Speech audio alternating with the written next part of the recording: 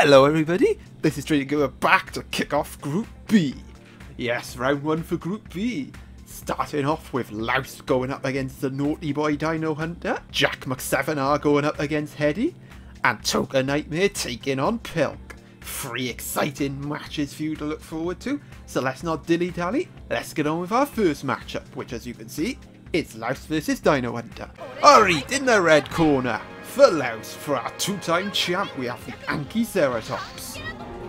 This Anchiceratops, kind of a staple of Louse, see, has used it before in tournaments.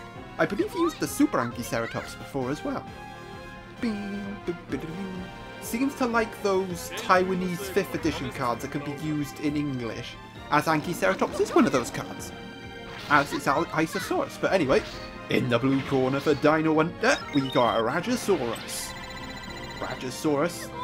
Well, Alpha Rajasaurus, I should say. Quite an interesting colour for an Alpha Dinosaur, and yes, we saw this guy in the last tournament. I believe um, Zalos used it in the last tournament, and it fared pretty... Oh, bloody hell, that lag is terrible. Oh, oh the FPS has gone down the toilet. oh, that was terrible. But that's what I expect from... Oh my god, what, what are you lagging for? Like, I'm... Oh my goodness, that's horrific. I, am sorry about that. I, I think I know why it's doing this. It's because I'm in the middle of processing Primal Carnage video, and that's probably taking up all my computer's power. So yeah, sorry about that. Can't be helped, because I want to get stuck in this tournament. I don't sit around and wait, I get stuck in there. You don't have to wait 10 weeks for me to start. But anyway, back to the match, back to the match. Louse on top early on, getting off another hit. Here comes another tie bomb. Dino Hunter, one of those naughty toddlers that broke me rules and received a point deduction because of it. So it's going to be very, very tough for him to get out the group. And well, the last person you'd want to play first, when you're in that situation, is a two-time champion in Louse. Although, hasn't quite happened for Louse in recent, recent tournaments. Although he has gone really deep in the tournament, and I fully expect him to go deep again into this tour in this tournament. And well, on this display, Louse is going to clean house. A 1-0 lead, and the Anchiceratops is relatively unscathed. But as for Dino Hunter's second dino, we have a Saurolophus. This Saurolophus does pack a punch, so it could be what Dino Hunter needs to get back in this match. Yeah, for some reason, I think I've mentioned it before, but the fire dinosaurs in particular seem to lag the emulator. And sometimes the water dinosaurs as well. Any of the other dinosaurs are not too bad. Well, pretty solid. Oh, that's a tie. Two Platoon Crush getting triggered there. But ties do favour the Anchiceratops because it is charge type. Oh, Dino Hunter finally getting his first hit of the match. It won't do much damage, Oh, the counter blitz has been triggered as the Liliencuor comes in there, healing up the Saurolophus a tad bit. Oh, look at all the energy from the Anchiceratops now. Well, Louse is guaranteed to deal damage no matter what. And it's a counter blitz. I, I find counter blitz really underrated in my opinion. I, I, is it just me? I, I just find it heavily underrated in my opinion. You don't talk much about it usually when it when it comes to those type of moves, you just talk about well, Deathfire. Oh, here comes a two platoon crush. Could this be what Dino Hunter needs to get back in the match? Well, put it this way. If Dino Hunter loses this match, that hill will to climb will be pretty much a mountain. Decent. Oh! the two sauropods just disappeared! But there's counter blitz again.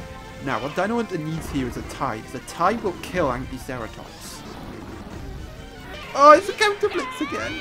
Anchiceratops cleaning house so far, looking mightily impressive. I'm watching the bottom of my screen. Make, getting, re getting ready to close buddy video editor so I can so I can get focus on doing this. Oh my god, this is right kick.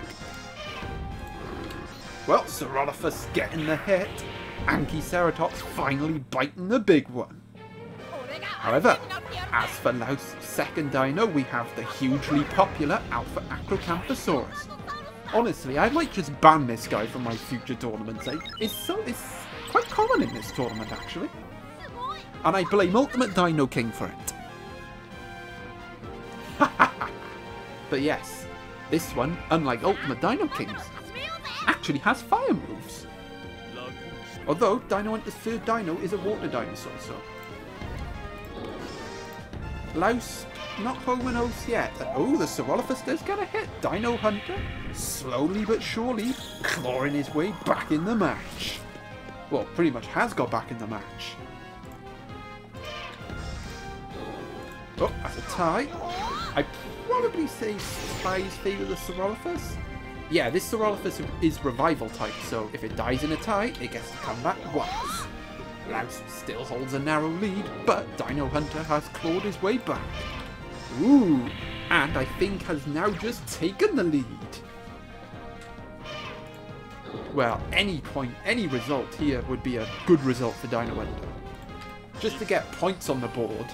Well, just to get less minus points, I should say. Oh, there's two platoon crush again. The Alpha Acro is pretty much dead.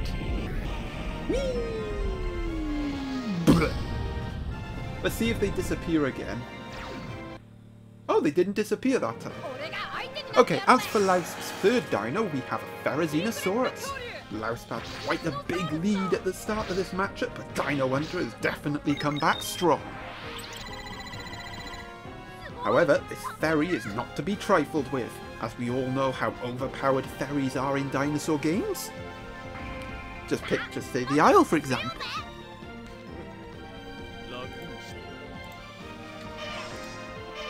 Oh, that's a tie. Ties favour Dino Hunter now. Ooh, a much needed crit from the Theri. And yes, Saurolophus is gone down, but it definitely pulled its weight there. Alrighty then, as for Dino Hunter's third dino, I'm sure I mentioned it earlier, we have the Isisaurus. The resilience of the Isisaurus could be key here.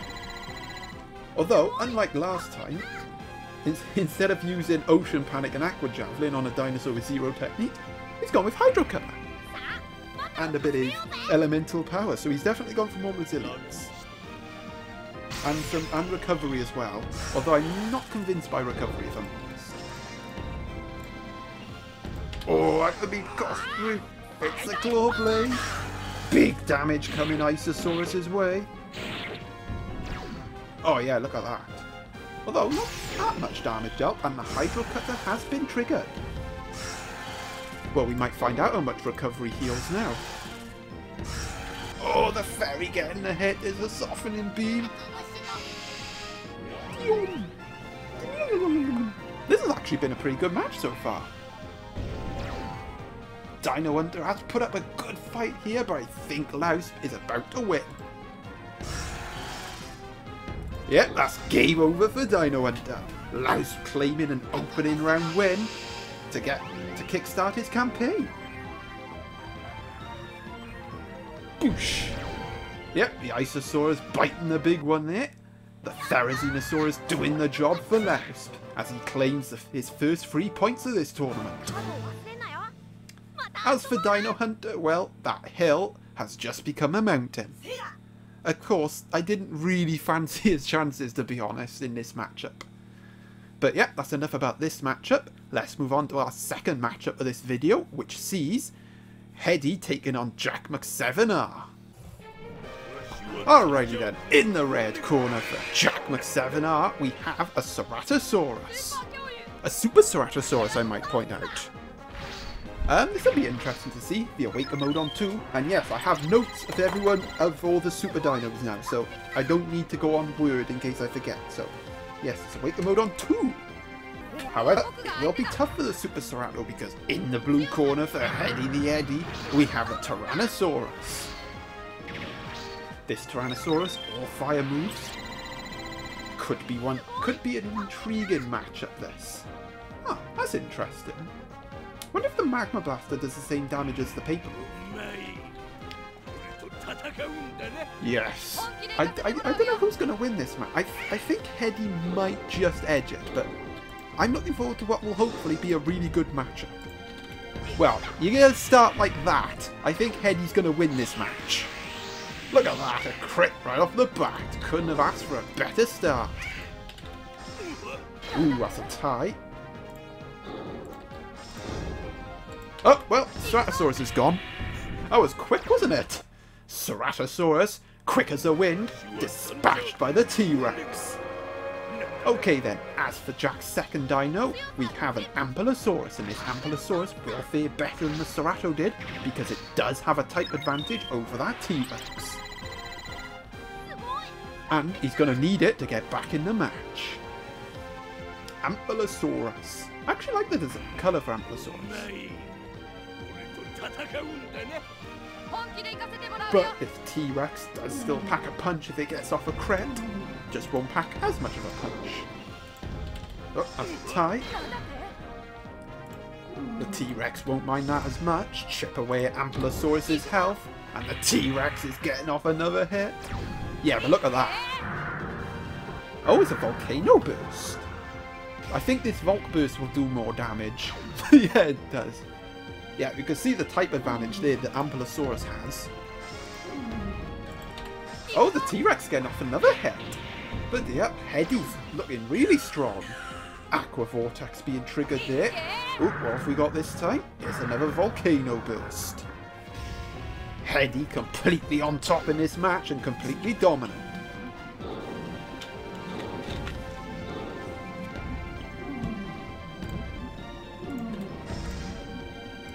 Oh my god, this T-Rex is cleaning house.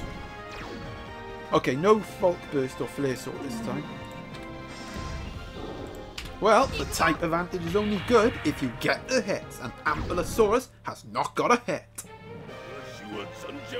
Well, this should be interesting, because as for Jack's third dino, we have a Super Therizinosaurus.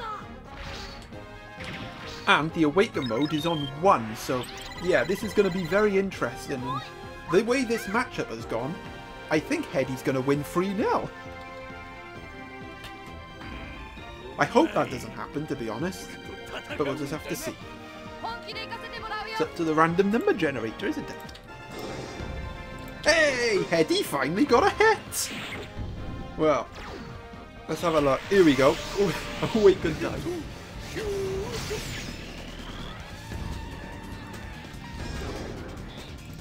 It's a tie. Hedi won't mind that. Oh, oh, and of course the T-Rex gets the hit. So the Awaken mode was wasted, and look at that, half the health gone, and if T-Rex gets another hit, Hedi is going to win. Another tie. Ooh, the T-Rex finally going down. It's a Claw Impaler.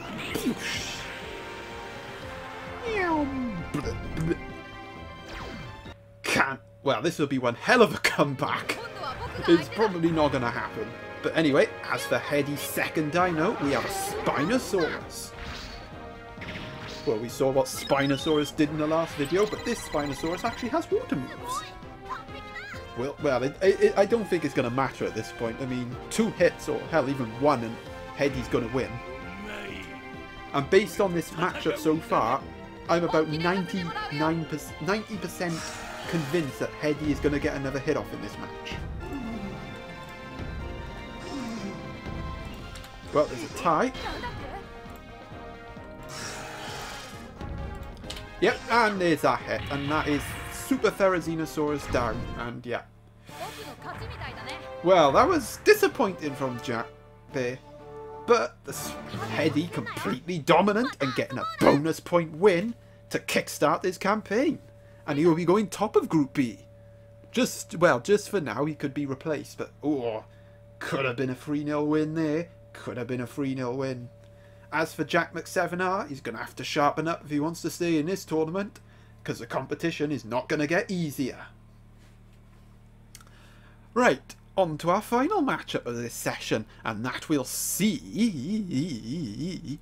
Tohka Nightmare taking on Pilk. Alrighty then, in the red corner for our for our Tohka Nightmare, we have an Alpha-Rajasaurus. Tohka Nightmare had an absolute nightmare in my last tournament, hoping to do better this time. And to be honest, I hope they do better as well. I'm intrigued to see whether this Alpha Rajasaurus will go off any heat eruptions. But anyway, in the blue corner, we have Tohka's nemesis, the Lexovisaurus. I only say that because this Lexovisaurus was responsible for one-shotting one of Tohka's dinosaurs in the last tournament.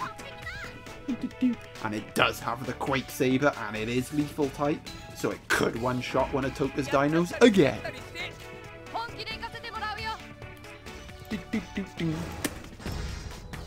Ooh, not likely though.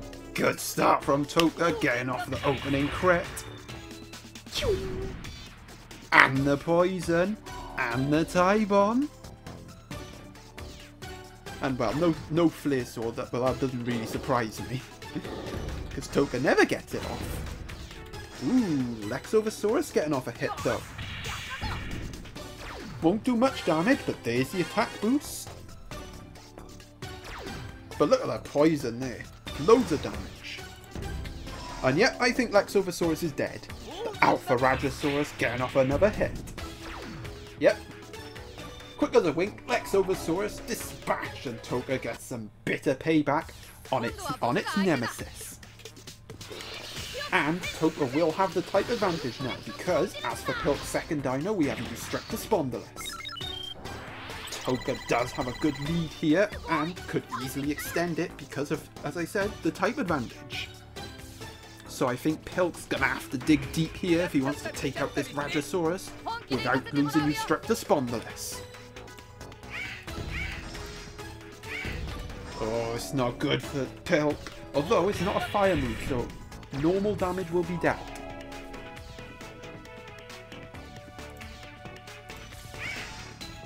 Oh, that's a tie. The tie bomb going off there. Eustreptospondylus damaged already. Another tie. The Rajasaurus is losing health. But Pilk, can Pilk even secure a hit in this match? Well, Eustreptospondylus is gone, and the Rajasaurus has given Tohka Nightmare a 2-0 lead. Pilk is in big trouble here. However, a saving grace is that his third dino is Ankylosaurus, and it will have the type advantage over that Rajasaurus. So, Pilk not dead and buried yet. I, I'm not counting. I wouldn't count Pilk out yet. I think there's still there's still ways to go in this matchup. It's still turning around.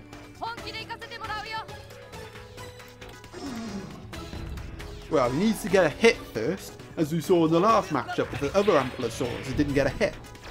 But yeah, look at that. There's the type advantage. There's the tie bomb. Hey! Pilk finally got a hit! The Ankylosaurus finally give, given Pilk a hit. And a light recovery to heal up its health as well.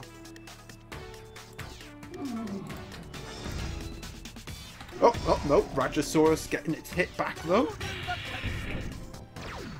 But yeah, not much damage dealt, so it's not too disastrous.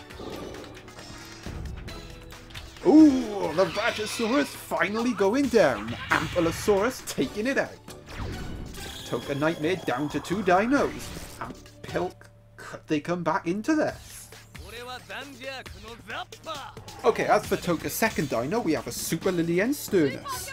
Now, this Super Liliensternus is, has a bit of fragility to it, so Pilk's not out of the wood, not dead and buried yet. And if Tohka can, if Tohka fails getting off the hit uh, in the Awaken mode, it could still be up for grabs.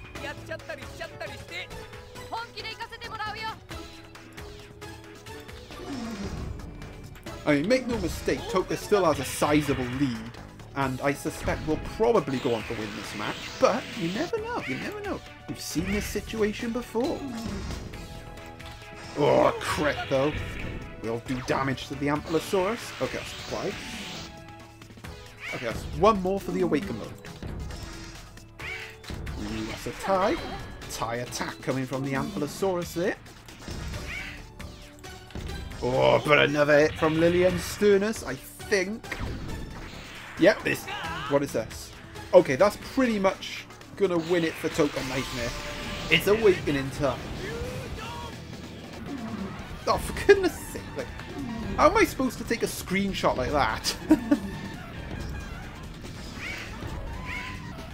oh, I tell you what.